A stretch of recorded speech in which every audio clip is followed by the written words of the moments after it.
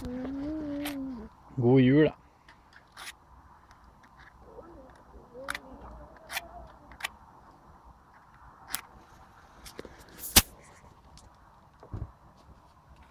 Kom hit nå.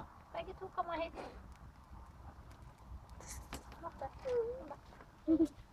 Nå funker det noe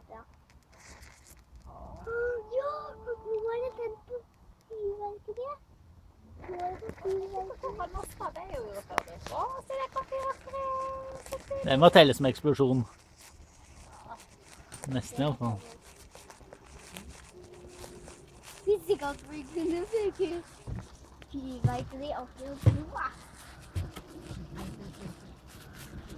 Kan være jeg må male benken din på nytt. Det brant veldig lenge.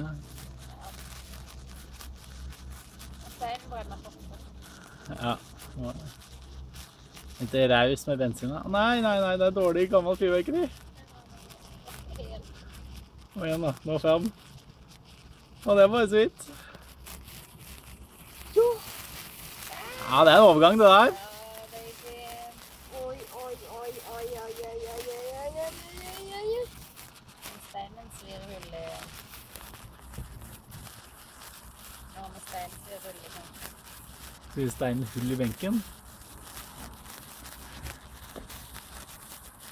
Wow. Snart kommer vi til der hvor det blir fyreksplosjon. Snart kommer vi til eksplosjonen, og da bare med? Det var den beste muligheten vi hadde. Det her var Det her var kul. Oi, ny overgang.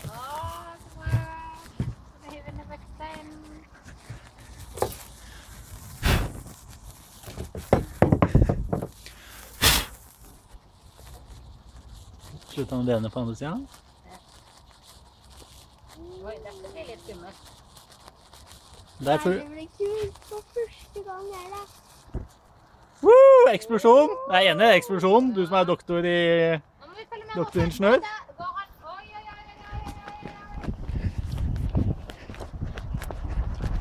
Ikke dør, ikke dør, ikke dør.